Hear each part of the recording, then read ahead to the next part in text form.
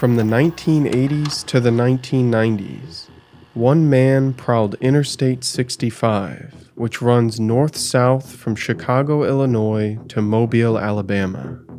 He targeted young female clerks operating front desks at cheap motels during overnight shifts. For years, he assaulted and attacked random women before disappearing into the anonymity provided by the interstate. Some investigators believe there are still countless unsolved crimes that have yet to be connected to him. The following is the story of the Days Inn Killer, also known as the I 65 Killer.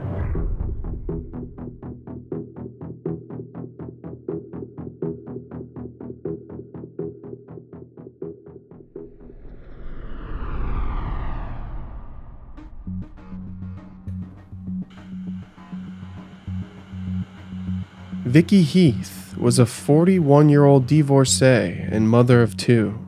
She had spent most of her life in Hardinsburg, Kentucky, but she had recently moved just 35 miles to the west.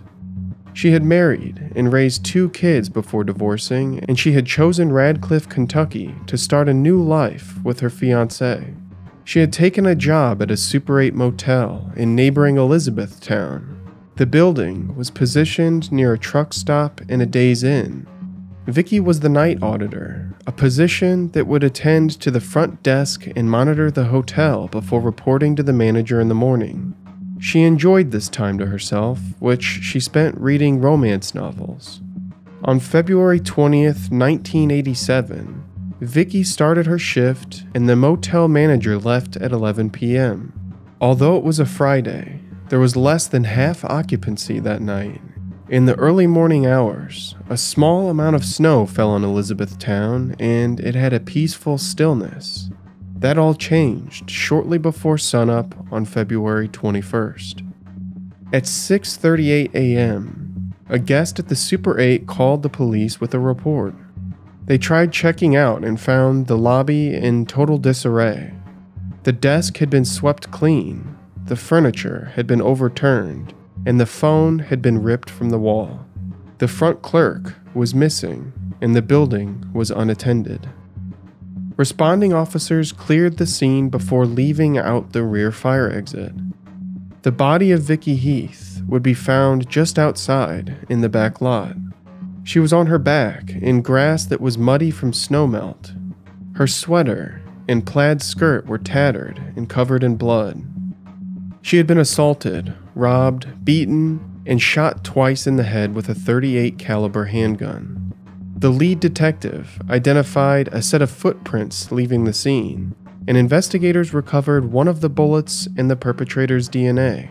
However, despite the recovered evidence, police struggled to find a suspect or theorize an MO for the crime.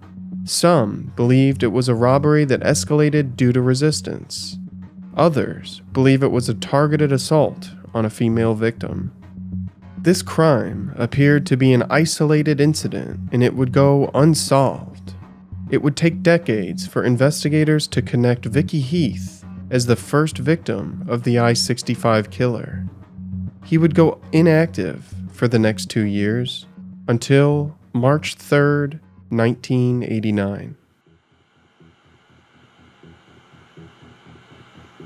Margaret Mary Gill was known as Peggy to her friends and family. She was a 24 year old student at the Sawyer Business College and a night auditor at the Days Inn in Merrillville, Indiana, just a few miles away from where I 65 merges with I 90 near Chicago. Peggy was a shy and soft spoken woman still living at home with her parents. She chose night shifts 11 p.m. to 7 a.m. because it was quieter and she wouldn't have to interact with as many clients. On March 2nd, she was finishing a cake for her father's birthday party the next day. They talked briefly before the beginning of her shift. It would be the last time the two would talk. The Days Inn, where Peggy worked, was a two story building in the shape of a U the corporate staff had classified this location as low security risk, although it had already been robbed three times previously. Nearly an hour after the beginning of her shift, Peggy contacted her general manager to report that the evening had been uneventful. She was confirmed to have checked in a guest at 1:30 a.m., her last for the night. Less than 30 minutes later, a college student entered the lobby which appeared deserted. He waited for 5 to 10 minutes, and when no one appeared, he left for another hotel in the area. Peggy missed her scheduled check in with the general manager at 5 a.m. An hour later, she was reported missing to the Merrillville Police Department. Responding officers encountered multiple guests in the lobby waiting for service. They found Peggy's belongings, a purse, and car keys behind the front desk with no sign of a struggle. They contacted her parents by phone, and when the manager arrived at 6:30 a.m., she unlocked the front office to discover the cash register had been pried open and emptied. Later, an audit would reveal that $179 had been stolen. With evidence of a robbery, police began to search the building. Indiana State Police searched a vacant wing which had been closed for remodeling. Near the fire exit, they found the nude body of Peggy Gill, her uniform neatly folded beside her. She had been assaulted before she was shot twice in the back of the head with a 22 caliber pistol. Investigators found fingerprints at the scene, but they weren't matched with any records.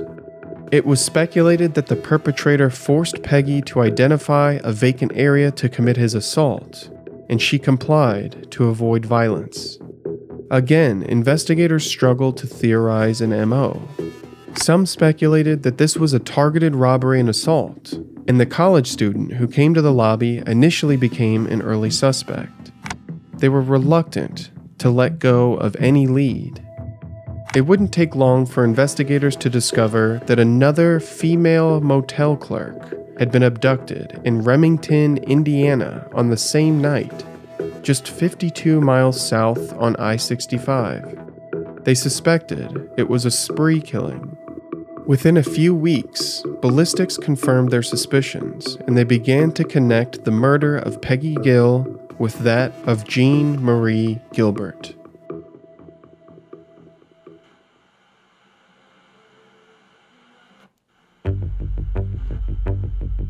Remington, Indiana was less than an hour away from Merrillville and just 30 miles away from Delphi.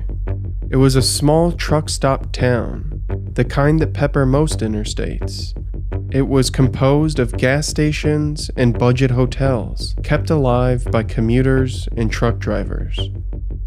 The Sunset Inn was formerly a Days Inn, and it abutted a parking lot reserved for semi trailer trucks. A few fast food restaurants and a Super 8 were nearby. Jeanne Gilbert was 34, recently divorced, and a mother of two. She attended college for a business degree and she worked evenings at the Sunset Inn after class. She wasn't scheduled to work on March 2nd, but she had switched shifts to cover for one of her coworkers. Her night started at 11 p.m. and it was slow. She spent her time on schoolwork in a small room off the front office. At 4:30 a.m., she conducted a wake-up call for a guest. Police believe that shortly afterward, a man entered the lobby and baited Gilbert out of the office under the guise of an emergency. Then he restrained her after a surprise attack. He pried open and emptied the cash register before escorting Gilbert through a side exit and into his vehicle.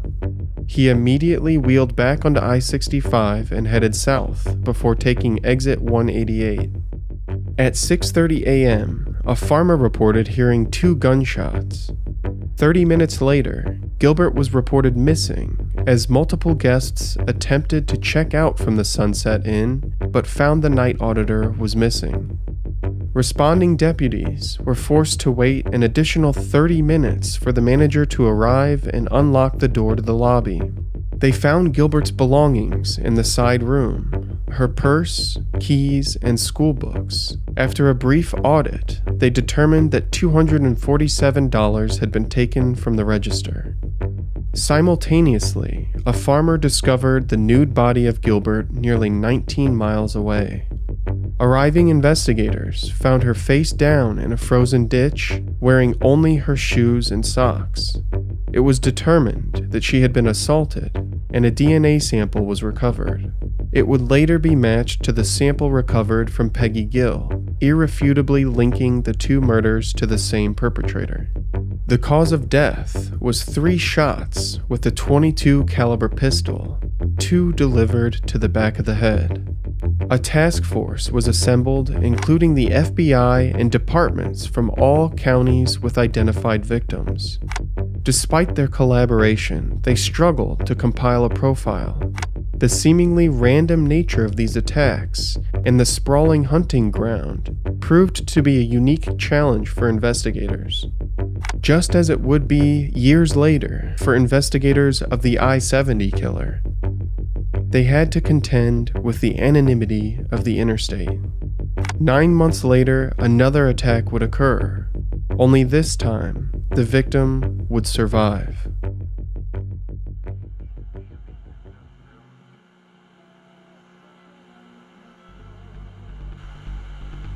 On January 2nd, 1990, a fourth incident occurred. The name and details of this victim have not been released to the public for fear of reprisal against her or her family. She was a 21 year old night auditor working at the Days Inn in Columbus, Indiana, located a little more than three hours south on I 65 from the previous victims. Around 5 a.m., what was described as a stereotypical looking blue collar trucker entered the lobby of the motel he wore blue jeans, flannel, and a stocking cap with medium length brown hair. And he had bright green eyes that almost appeared yellow. Notably, the right eye was lazy. He asked for change for the cigarette machine, which the night auditor provided. She recommended a few places to eat nearby, and the man left. However, he returned shortly after with a hot coffee in a foam cup again requesting change, this time for the soda machine. When she opened the cash register, he threw hot coffee into her eyes. While she was blinded, he quickly jumped the counter, wielding a six inch brown handled knife, telling her, quote, I won't hurt you if you keep your mouth shut. Give me all the money, unquote. He emptied the register before robbing her of the money from her purse and jewelry from her fingers. Then he escorted her to a rear fire escape. There, he assaulted the woman. After, they entered the parking lot where he instructed her to keep walking. He followed behind her as they crossed the pavement, and on the other side, she descended the embankment and continued until she found a trailer home and called for help. The man was nowhere to be seen. The victim was taken to nearby Bartholomew County Hospital for recovery, and DNA evidence from the perpetrator was recovered. A description of the killer was quickly generated into a police sketch and released by the Columbus Police Department. However, this was done without consulting the task force, and perhaps due to political fallout, the Indiana Task Force did not use this description to generate their own composite until 15 months later. This time, the sketch was developed in color. Decades after these attacks, a DNA sample would link a fifth incident with the others. Again, very few details have been released to protect the surviving victim. In 1991, a woman in Rochester, Minnesota was assaulted and stabbed. However, she managed to escape with her life. The description of her attacker was nearly identical to the sketch of the I 65 killer. She described him as being of average height with gray brown hair and green eyes. She confirmed that his right eye was lazy. DNA evidence confirms that these five victims suffered at the hands of the same perpetrator. Shockingly, this does not conclude the list of potential victims. The unnamed victim in Minnesota indicates that the hunting grounds for this serial killer may have been much larger than previously considered. There may be countless other cold cases that simply have not been linked yet. two of these cases are the murders of Lois Evelyn Wright and James Matthew Walton. Evelyn Wright had an associate's degree from a local college. She had married Daniel Wright, and the two had four daughters. She worked the December 17th to 18th overnight shift at the Colonial Inn in Rockford, Illinois. Usually, she called to wake her husband before his shift at 6 a.m. On the morning of December 18th, 1988, she failed to call him. When he phoned her, they spoke for a few brief minutes. It would be the last time Daniel Wright would speak with his wife. About an hour later, a guest entered the lobby attempting to check out, and they found Evelyn unconscious and face down. Responding paramedics thought she suffered a cardiac event, and as they began chest compressions, they identified a gunshot wound to the right side of her chest. At that point, they stopped and attempted to preserve the scene. The cash register had been pried open and emptied, leading investigators to believe it was a robbery gone wrong. She had been shot with a 44 caliber Magnum less than a year after the murder of Vicki Heath.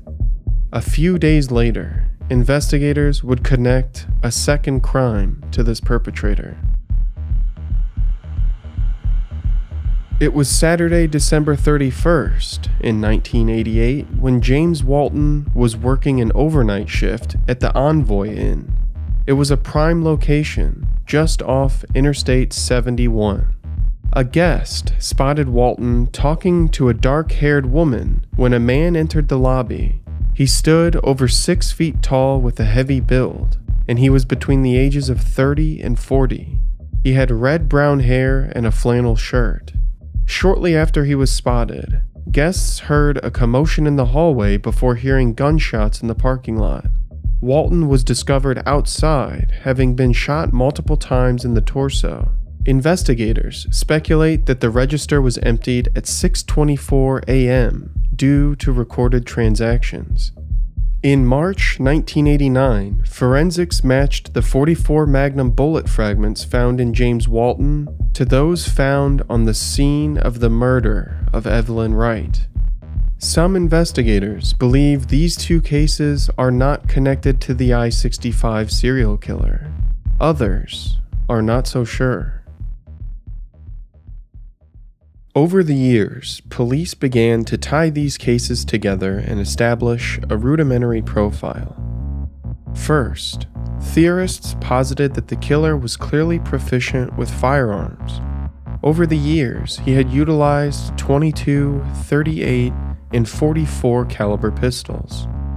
He was comfortable with weapons and knew where to easily exchange them. Second, the descriptions of the perpetrator were remarkably similar among eyewitnesses. They described a man who appeared to be a trucker, wearing jeans and flannel with dark red hair.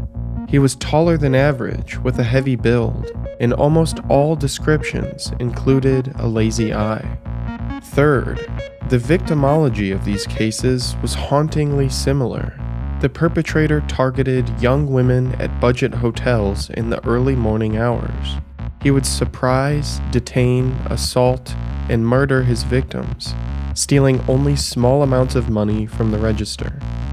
Despite fiery media scrutiny, multi agency task force, and surviving eyewitnesses, the I 65 killer remained uncaught for decades. That is, until April 2022, when police agencies announced that they had discovered his identity through investigative genealogy.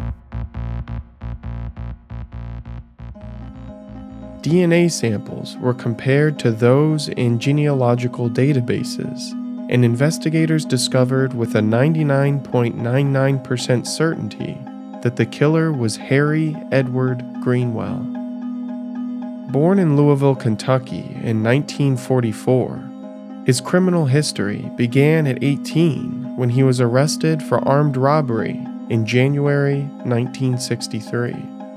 He was sentenced to two years of reformation and five years of probation. Just two years later, he was arrested for a sexual crime. While the judge was dismissing the charge, Greenwell kicked the wire screen from the window and jumped from the second floor of the fiscal court building. His escape attempt didn't last long as he was quickly apprehended the next day at a restaurant in the Greyhound bus stop and returned to the courthouse. His probation was revoked and he was forced to serve his sentence until being released in 1969. Sometime in the early to mid 70s, he married Terry Jo Hastings, his first wife and mother of his children. Tragically, she would die in a house fire in 1978, just 23 years old. Greenwell was a traveling railway worker at this time, and he was on the opposite side of the state at the time of the fire. This incident was ruled an accident by the local fire department. Greenwell would remarry a year later, and then in 1982 returned to a life of crime. He was arrested for a burglary committed in Iowa where he stole 40 batteries from the village farm and home store in Lansing. However, he escaped the Allamakee County Jail on June 17th during breakfast, but he was quickly captured later that day after police searched with bloodhounds and helicopters. Just nine days later, Greenwell escaped from the facility again. He would be caught on June 30th after a witness recognized him from a wanted poster. His escape attempts would net him two years of additional prison time. Three weeks after the attacks on Gill and Gilbert, he would break into the home of his second wife. They were on and off again, and at this time they had become estranged. Greenwell and his second wife had planned to move into a new home together, but she was withdrawing from the marriage and Greenwell himself. When she wasn't at their new home, he went to his mother in law's home, kicked the door in, and dragged her into the street. During his attack, he choked and threatened her. Wisely, she feigned injury and eventually made it to the hospital, where she later reported the incident to police. Greenwell was arrested a short time later on possible charges of false imprisonment, battery, criminal damage, and criminal trespassing. Just two days later, he was arrested again for another altercation with his estranged second wife at a local tavern. Then, in 1998, Greenwell was stabbed by his 15 year old stepdaughter, Ava Smith. As a consequence, he was arrested for being a felon in possession of a firearm. As described in the 1990 assaults, Greenwell detained his victims by wielding a knife some researchers have raised questions about this incident as revealing of his MO. Had he attempted to control his stepdaughter at knife point? And did police recover one of the murder weapons unknowingly when they seized his illegal firearm? Shockingly, this case was later dismissed and all charges were dropped. In 2013, just three years after retiring from his position with the railway, Greenwell died. A little less than a decade later, he would be identified as the I 65 killer. Many believe that the coming decades will reveal even more victims, and some have begun to make those connections already. Shockingly, the I 65 killer closely resembles the previously profiled I 70 killer. Both were white men, near 40 years of age, with red brownish hair and a familiarity with firearms. Additionally, the victimology, timeline, and killing methods are a close match between the two predators. The I 70 murders occurred just two years after the last confirmed victim of the I 65 killer. Interstate highways helped obscure and hide the I 65 killer for decades. Now that he's been identified, Many struggle to redefine justice and cope with the fact that he will never have to answer for his crimes. Worryingly still, there could be countless other victims who simply have not yet been connected. This monster may have been stopped, but we have yet to realize the aftermath of his passage.